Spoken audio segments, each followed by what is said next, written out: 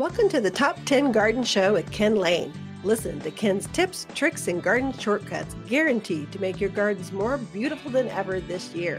Now, welcome your host, Ken Lain.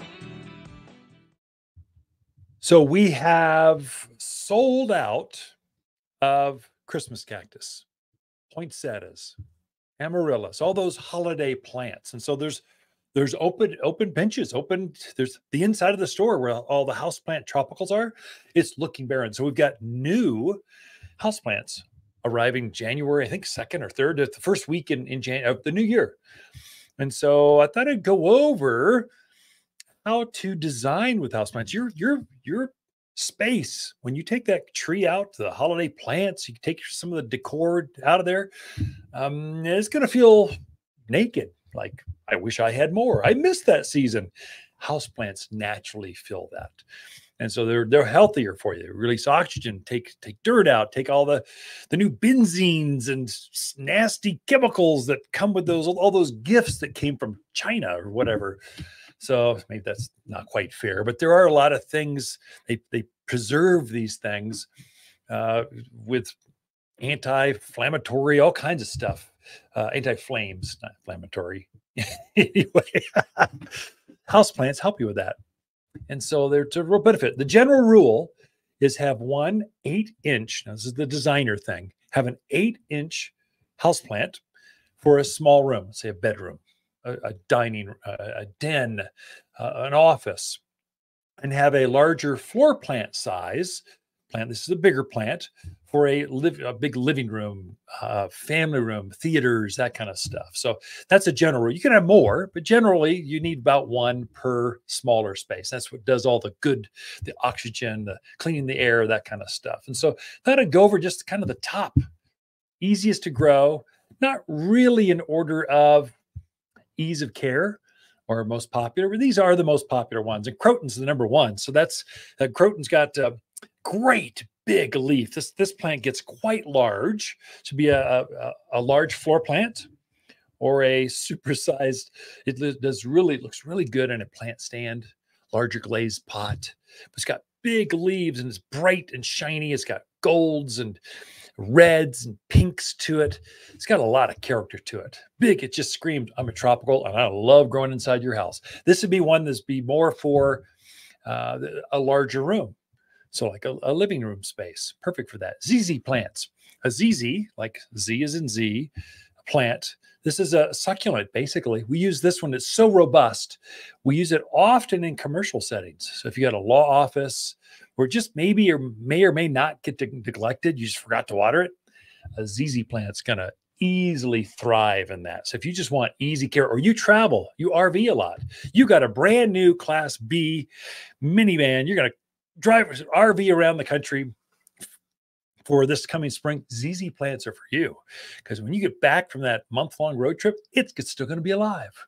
And so ZZs are great. They got this rich green, just rows of rich green, glossy leaves. It just screams healthy and they live forever. They're just great, easy to grow plants, very healthy for you. A money plant. Money plants, you know, they get all the hype. I don't they're pretty, they're braided branches, that kind of stuff, big green leaves. Uh, they're a little harder to grow. Now they're big, tall plants, so frequently too big for a lot of spaces, but it's a good plant. So money plants get, I think, more hype. I think there's better choices possibly. But money plants are on there. Peace lilies, that's when you're going to find a lot coming up in the Easter season. So kind of late winter, early spring, peace plants or peace lilies great big supple leaves, very soft. It can get up, oh, pretty easily uh, hip high, but its claim to fame is it's got that big white flower that blooms about when Easter arrives. That's that's the name peace lilies, uh, but very healthy. It provides a lot of oxygen, a lot of benefits for the environment, that room that it's actually in you'll feel it. You'll feel better about it. And it just likes being touched and talked to. It's one of those kind of plants.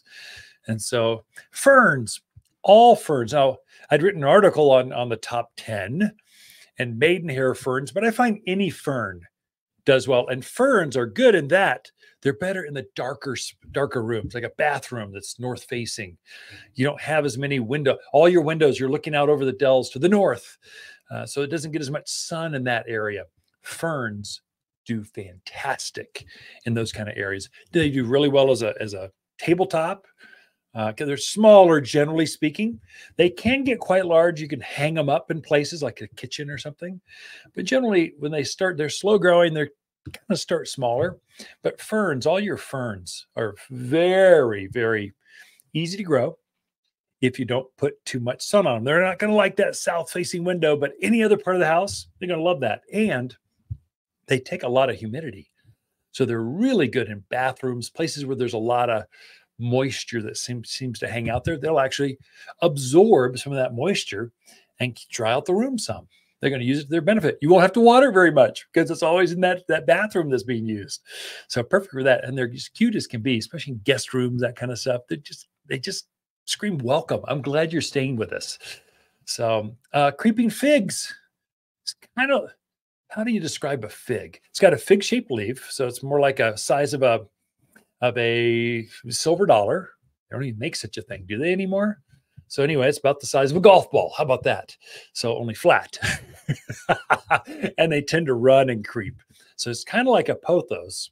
I think that's on, that's on the list too, but much smaller leaves. The leaves are half the size, but they're just rich and green and healthy and easy to grow. Great for tabletops, uh, shelves at, up in the uh, in the in the kitchen where you want it to flow down over a shelf or something super healthy, super easy to grow. So creeping figs are really good, mainly inside. Some of these can also be outside when it's not freezing. So these are all tropical plants. So they're from the tropical forest. They don't like cold. They like it. If you're comfortable, they're comfortable. But during the during the summer, yeah, you're comfortable all the time. Put them right out there on the on the back deck, the back patio. They'll thrive out there. They'll probably do even better. Pothos is, is another one. Pothos, I think, is that introduce, introductory house plant for folks. It's it's very affordable, grows really fast, and it's it's just kind of easy to care for, easy to grow. It can get too big, too aggressive sometimes. So it tends to get these big, long tendrils. These these are the ones where the where someone says, "Oh, look, I grew this pothos, this house plant, and it grew around the room." They just like tacked it up around the room. That's a pothos. I don't let mine grow that way. I tend to cut it back. I don't let those long tendrils go. I want it to get full and plump instead of long and leggy. And just by pruning it every once in a while, it gets thicker and fuller. Or this is where they use those moss poles. They'll actually stick a pole in the pot where the pothos is growing and they'll tie it to this pole to give it more of an upright, kind of thicker, fuller feel to it. So that's a that's a classic for that one. Philodendron is another one that you, you could do that with. Uh, philodendron and uh, ivy. Put the moss pole in the middle, put English ivy and just let it run up that. You can either let it run free over and hang down to things, or you can train it to grow up a moss pole. And we've got some really funky, fun, different poles you can use, not just a stake. It's not just a green, like metal stake. We're talking something more luscious, full, designer esque for for for plants. So is this thing you're to be living with this for years? You want it to look nice, and so ivies, pothos, philodendrons. These are all these. You can let them grow sideways and down and drape and droops and kind of flow over over things, or you can train them to be more upright. Another one you're going to find a, a, tr- a tricky one uh, right now because the days have gotten short uh, figs, so uh, uh, ficus, ficus trees.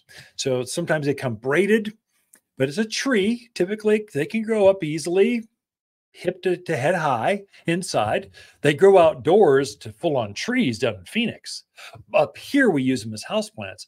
But right now, you'll notice they're dropping some leaves and saying, well, What's going on? What am I doing wrong? You're not doing anything wrong. It's all the days have gotten so short. This plant loves the sun. And so the days have gotten so short, it's going, okay, not enough sun to keep me going. I'm gonna, they're just crybabies. If the if the if the weather changes, they're gonna drop leaves. So generally, I don't like ficus as much. I'd rather have a fiddly leaf fig or uh, a corn plant, Dracaena, or because they're less crybaby. They're, they're less whiny like that. But if you got a few leaves dropping, that's fine. Just keep it going. The days will get longer at this point and it'll get happier. That's it for this segment. The house plants you can grow for a healthier new year. Hi, Lisa here with the plants of the week and our Arizona Gold Euonymus. An excellent choice for colored hedges and as tough as they come. This evergreen displays bold gold, head high foliage that grows even thicker when sheared. A single shrub makes a bold statement, but in rows they make excellent visual and sound barriers. Watters Garden Center, 1815 Iron Springs Road in Prescott, where people who love bold gold hedges, they love to shop.